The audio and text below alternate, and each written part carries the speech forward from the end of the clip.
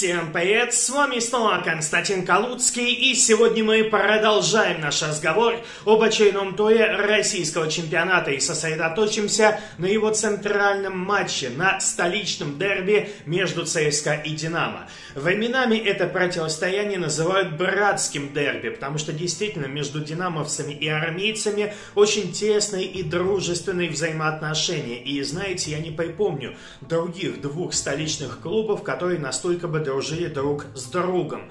Но, конечно же, когда дело доходит до футбольного матча, здесь на поле кипят страсти, здесь уже не до дружбы, не до братства, потому что нужно набирать очки. Ну и в результате в этом противостоянии, в этом чемпионате пока что сильнее армейцы. ЦСКА добились победы, и давайте обсудим, каким образом коллектив Гончаренко обыграл Динамо, причем хотелось бы отметить, обыграл не просто Динамо, но еще и Динамо под руководством нового наставника немецкого специалиста Шварца. Сперва хотелось бы посоветовать вам сайт FunTeam, который посвящен фэнтези-футболу. Это крупнейшая фэнтези-площадка Европы. Здесь вы можете собрать свой собственный состав и поучаствовать в многочисленных соревнованиях. И главное, сейчас начинается сезонный фэнтези-турнир по групповому этапу Лиги Чемпионов. Вы можете взять в свой состав грандов мирового футбола, а можете набрать футболистов из России российских команд – «Зенита», «Локомотива» и «Краснодара». И вместе с этой командой вы можете не просто выиграть турнир, но и заработать вполне реальные деньги. Призовой фонд данного состязания – 250 тысяч евро, а победитель получит 50 тысяч. Проходите по ссылке в описании, регистрируйтесь и собирайте свою команду на фэнтези-сайте FunTeam. Ну и начинаем мы, конечно же, со стартовых составов и пройдемся сперва сперва по ЦСКА, потому что было интересно, как же армейцы будут решать свои серьезнейшие проблемы в обороне, потому что здесь по-прежнему нету Фукса, нету Набабкина, нету Магнусона, ну и теперь еще и нету Марио Фернандеса, основного правого защитника. И вот в этих условиях Гончаренко принял решение перейти изначально на схему с тремя центральными защитниками. И здесь появился Васин, здесь же появился Дивеев, недавно восстановившийся от травмы, и тут же появился появился Карпов. Ну, связка, мягко говоря, пожароопасная, потому что Дивеев, конечно, неплох, но он только после травмы. Ну, а что касается Карпова и Васина, они в силу разных причин достаточно такие, знаете, экстремальные, я бы сказал, защитники, потому что повести может и тот, и другой. И после этого начинается такой русский экстрим в обороне ЦСКА, что мало не покажется. Но зато за счет этой плотной схемы удалось максимально нивелировать некоторые недостатки отдельно взятых игроков. Например, медлительность Васина, потому что в схеме с тремя центральными его тихоходность не так заметна. Справа же появился Марадишвили. Ну, вот такая вот универсальность есть у этого футболиста футболиста, хотя для справедливости отметим, что это обычное дело, когда опорники способны сыграть справа в защите. Слева появился Зайнудинов. Таким образом, на обоих бровках действовали здесь игроки не профильные, потому что все-таки по родным позициям и Зайнудинов, и Маришвили это футболисты совершенно иного типажа. Но приходится вот так вот здесь изгаляться и заширяться. В центре поля остался, получается, один только Обликов на позиции опорника, что, конечно, было серьезным серьезным риском, поближе к атаке Влашич, ну и атакующая группа Кучаев около Влашича и Обликова, его даже можно отнести еще к средней линии, ну и плюс в нападении Чалов Эджуки. Что ж, это действительно очень наступательное сочетание, несмотря на схему с тремя центральными, тем более, что ЦСКА далеко не весь матч провел в этой расстановке и постепенно в рамках этой встречи перешел на схему с четырьмя защитниками. Собственно, это произошло уже на 20-й минуте, когда вместо Карпова появился Алан Загоев, но об этом мы поговорим чуть-чуть попозже. Пока что сосредоточимся на составе «Динамо», потому что, согласитесь, интересно посмотреть, как будет строить свою команду Шварц, новый наставник. Хотя, на мой взгляд, пока что он пользуется исключительно наработками предыдущих наставников. Тем более,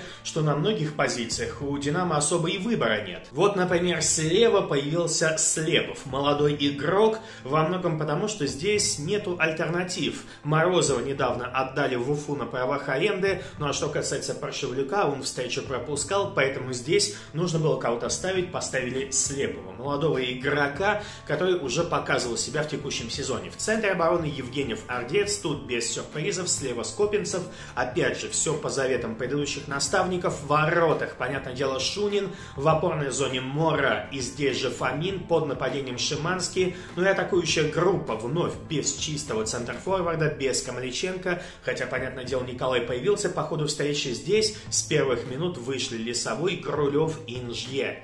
Вообще любопытно, что Камниченко, который вызывается в сборную и упорно вызывается в сборную Станиславом Черчесовым, в последнее время не получает стабильной игровой практики в своем клубе. Это говорит о том, что у нас в национальной команде есть проблемы с недостатком качественных кадров и о том, что Черчесов принимает порой не самые взвешенные, как мне кажется, решения. В первом тайме забитых мячей не было, но в целом игрушка была достаточно событийная и интересная. Моменты были и у тех, и у других. И если определять одну команду, которая действовала успешнее в этом нулевом первом тайме, то, наверное, это был московский ЦСКА. Потому что если мы смотрим статистику, здесь 8-2 по ударам, 60 на 40 практически. Процент владения в пользу армейского клуба. Ну и главное, здесь в общем и целом армейцы смотрелись поострее ворот соперника. То есть это не просто были чисто статистические удары, которые не несли опасности. Нет, ЦСКА действительно был ближе к тому, чтобы забить мяч. Причем, что характерно, Динамо здесь даже пожарил в своей защите. Вот так вот мы ждали перевозов от армейской обороны, а пожарить здесь начали защитники Динамо. Например, Ордец отдал мяч Чалову, и после этого в той ситуации ЦСКА мог забивать. И там Шунину еще пришлось поучаствовать, перевести мяч в перекладину. Поэтому здесь жара была еще та у ворот Антона Шунина. Ну и Акинфееву тоже пришлось поработать, причем в принципе Динамо-то создал свой момент первым.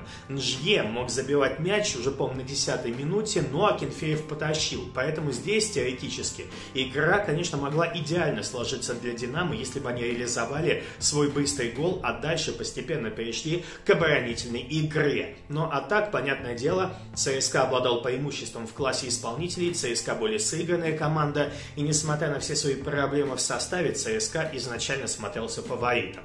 Если говорить об игре Динамо, если здесь какие-то изменения с появлением нового наставника. Я хотел бы отметить, что команда действительно старается активно прессинговать. И в том же самом первом тайме, обратите внимание, 17 отборов выполнено было динамовским коллективом за 45 минут. Причем здесь участвовали все, Шиманский, 4 отбора, Лесовой, 2 отбора в первом тайме и так далее. Почему я говорю о первом тайме? Ну, потому что во втором Динамо, как мне кажется, немножко подвис в плане физики, не хватало силенок им на вторую половину встречи, а во-вторых, они там еще и в меньшинстве остались. Поэтому, если говорить о прессинге Динамо, то в первую очередь нужно отметить стартовые 45 минут, где действительно динамовцы пытались прессинговать, активно это делали, и это вполне себе соответствует тренерской методике нового наставника Сандро Шварца. Плюс к этому атакующая группа достаточно быстро перемещал мяч вперед.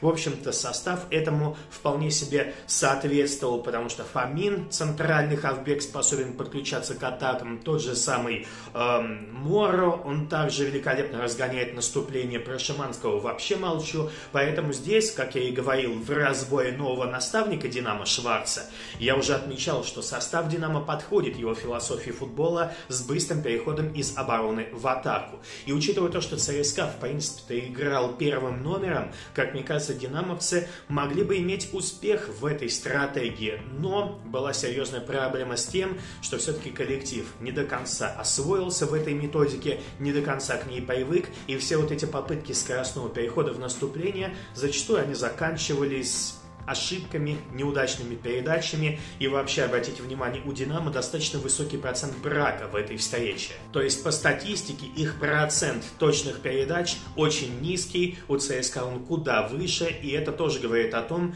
что Динамо еще нужно адаптироваться под новую стратегию и под новый формат работы. Ну а во втором тайме, как мне кажется, Динамо, к сожалению, просто просел в плане физики. Исчез прессинг, который был так эффективен в первом первой половине встречи команда потеряла свою мобильность, свою скорость, и в результате уже на шестой минуте второго тайма ЦСКА забил свой мяч. И здесь, конечно, хотелось бы отметить Чалова с великолепной передачей на Константина Кучаева. Вообще, у Федора в этой встрече была роль вот такого, знаете, местного Бобби Фермино, футболиста, который углублялся, много разыгрывал снаряд, много поддерживал партнеров, и в результате в каком-то смысле ЦСКА вообще действовал без классического центрфорварда. Но зато Федор выполнял очень много ускорений, отвлекал на себя внимание и помогал другим футболистам команды освобождаться и получать свободные зоны. Ну и, конечно, нужно отметить, что оборона «Динамо» действовала не лучшим образом во втором тайме, да и в первом они, в общем-то, позволяли сопернику создавать моменты, но вот здесь данный процесс только углубился. Шансов у ЦСКА стало больше, они забивали мячи, и причем в данном случае списывать все на удаление нет никакого смысла, потому что команда пропустила все три мяча, играя в полном составе. Это дальше Евгеньев нарвался на красную, а так-то все три мяча были забиты в других ситуациях, когда играли 11 на 11. Второй мяч был забит ЦСКА со стандарта всего через 3 минуты после первого, и здесь, опять же, можно отметить не самую лучшую работу защиты Динамо, но нужно отметить, что и ЦСКА немножко повезло, что вот так вот отлетел мяч прямо к Джуки, и тот поразил ворота соперника. Ну и все-таки нужно отметить, что динамовцы тоже не бросали играть в этот момент. Они опомнились, через 3 минуты они сами забили мяч, сократив отставание в счете. Но, с другой стороны, коллектив создавал моменты с большим натугом, с большими проблемами. Было видно, что ЦСКА поразнообразнее в атаке, поинтереснее. И даже после того, как ЦСКА отказался от схемы с двумя центральными нападающими, ну, будем называть их так, потому что Эджуки сняли и выпустили Текнезяна. Даже после этого ЦСКА все равно создавал шансы, создавал моменты. Ну и, в принципе, даже если брать отрезок с 45 по 75 минуту, то есть второй тайм, когда команды играли в равных составах, здесь, когда действие было 11 на 11, у ЦСКА по-прежнему был тот же процент владения, что и в первом тайме, 60 на 40, также был перевес по ударам 6-2, поэтому здесь, повторяю, списывать все на удаление Евгеньева не стоит. Динамовцы во втором тайме просели, исчезла их активность, ну а после того, как красную получил Евгеньев, понятное дело, шансов отыграться было уже минимум. Хотя Динамо попытался, конечно, пойти вперед, они били поворотом соперника, но ни один из этих ударов не стал голевым. А вот ЦСКА еще во время игры полными составами успел забить третий мяч, и здесь, конечно, нужно отметить Дивеева, центрального защитника, который таким образом, ну, можно сказать, триумфально возвращается в состав после травмы. Разумеется, нужно обратить внимание на то, что оборона Динамо действовал не лучшим образом, но Дивеев-то каков. А вот что касается Шварца, как мне кажется, он запоздал со своими свежими игроками. Камличенко вполне возможно стоило вводить пораньше, потому что когда он вышел, ему там оставалось всего несколько минут до того, как команда осталась в меньшинстве. То есть он в полных составах толком поиграть не успел. Только вышел на поле, пока освоился, пока адаптировался, и тут э, хлопс, и твоя команда остается в меньшинстве. В результате в концовке самый опасный момент у «Динамо» был в исполнении Граулева, когда он нанес удар, а Акинфеев потащил,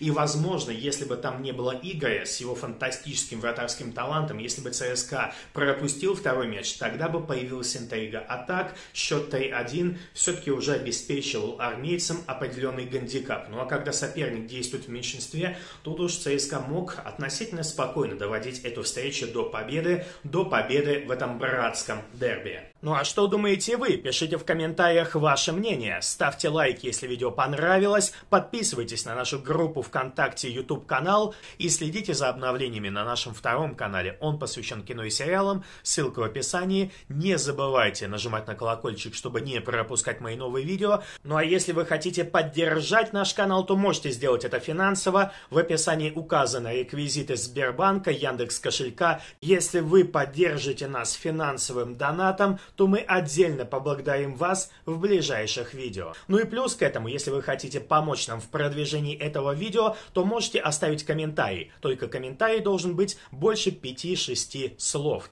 Всем удачи, всем пока!